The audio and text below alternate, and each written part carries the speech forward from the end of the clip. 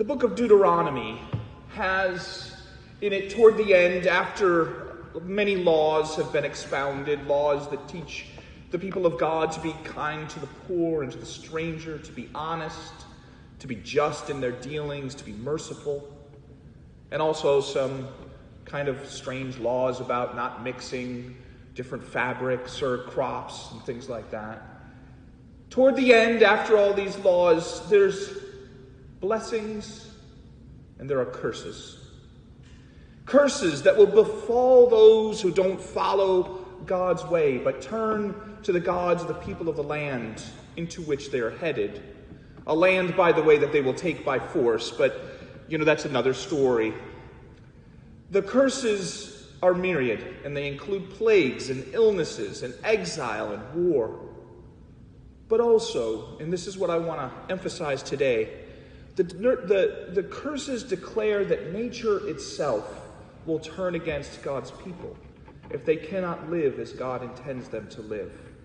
Locusts and grubs will devour their crops. Olive trees will fall. Mildew will grow in their storehouses. The earth itself will dry up, and the rains will be locked away in the heavens. Now, one can take that kind of thing a lot of ways. Some people might dismiss it. Uh, some others might interpret it in different ways. And some, some of those interpretations I think are helpful, and others are not. I think it's less helpful to think of natural disasters as some kind of punishment for sin in a sort of one to one direct way, meaning, for instance, that God smites the sinner with a tornado or something like that. But I think you can think of this in a more helpful way.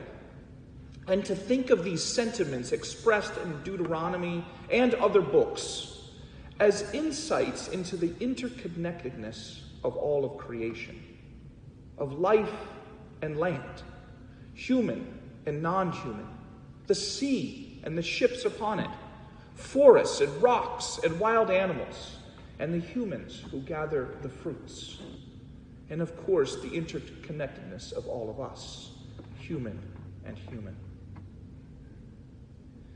So, our story today, though, is from Mark. And it comes toward the beginning of the gospel, right after Jesus is teaching the crowds. And he teaches the crowds in parables, he says, and then he takes the disciples aside and teaches them with explanation. Our story today is one of the first what we would call epiphanies of Jesus' divinity to the disciples. They remember they say, Who is this that even the wind and the sea obey? And remember, the story begins with the storm and wind arising. The word used there is whirlwind. Whirlwind. And it's the same word that is used when, remember, Elijah is taken up from Elisha in the whirlwind. It's the same, same Greek word is used there. It's also the word that whirlwind is the same whirlwind in, out of which God's word comes in answer to Job. So Jesus is asleep during this whirlwind.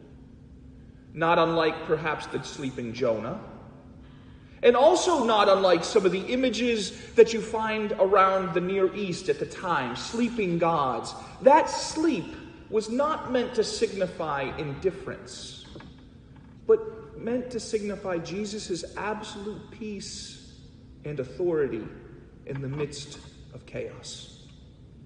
Because the sea, when it churns, reminds us of chaos the deep at the beginning of creation, in which God's word separated the waters above from the waters below, and which commanded the land to emerge from its midst, so that the sea was contained, so that the proud waves would be contained, according to God's answer to Job today.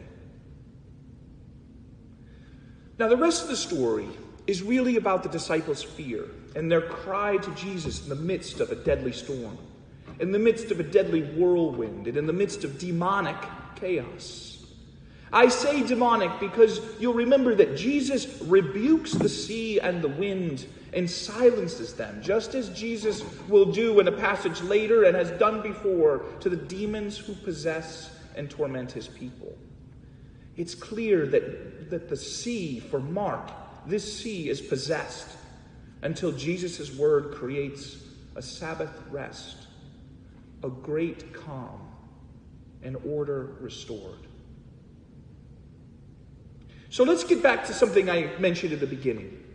The idea of God and God's power over nature as being not about sin and punishment in a direct way, but about our interconnectedness.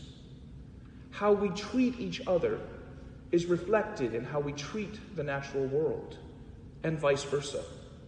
If we see the natural world as a thing to be exploited for our own uses, we will see others as things also to be exploited. If we relinquish our role as stewards and take instead the role of master, then we will see the natural world as something to be subjugated. And so also we will treat, we will treat each other likewise. But the world, all of creation, people, trees, seas, they don't want to be enslaved or subjugated, abused or exploited. And so they protest and they rebel, or they perish or dry up or swamp and fill our boats and our beaches. That is the logic of the Bible, anyway. This personification of the natural world as an actor among other actors, like the sea in our reading, was not something new to Mark's gospel. Herodotus, if you know him, he's a Greek historian, tells the story of the great emperor Xerxes whipping the river Bosporus. He sent his guy, soldiers to go with actual whips and give the river 50 lashes because it was too dangerous to cross.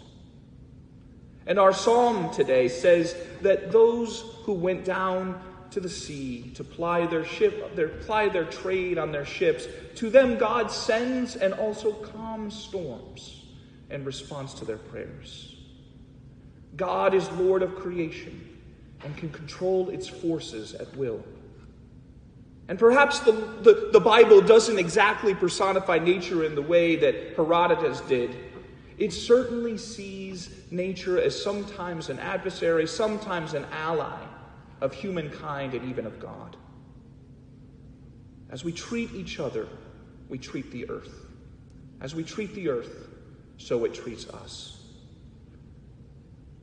So today, Mark tells the story of this epiphany a shining forth, Jesus as divine, rebuking the wind and the sea. But we cannot ever forget the arc of the gospel.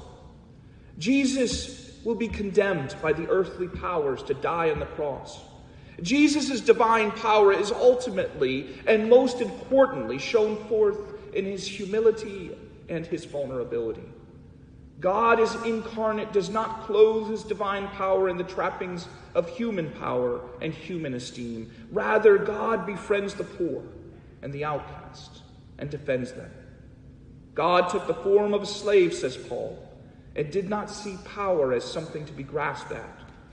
And this God calls to his side those who are themselves vulnerable and calls them to feed the vulnerable. And at Pentecost, the Holy Spirit makes each of us, as the church, this people of God and the bearers of Christ to the world. Part of faith is to realize that the power that calms the raging seas and with it our fear and trembling is right here among us. And it becomes manifest in our willing to be people who try to be Christ to the world, who stand not against but with the weak, who struggle to love our enemies, and who invite those who are outcasts to our table. It is from that invitation and the courage and perseverance it implies that the true order and interconnectedness, the divine order of the world, emerges. It is in fragmentation and isolation and hate that signals the return of chaos. It is when we live our lives in a way that invites those who have been cast out, invites those back in that we will bring the great calm, the great peace, the great Sabbath to earth. And so, as St. Paul exhorts us today, now is the acceptable time. Now is the day of salvation. Open wide your hearts. Amen.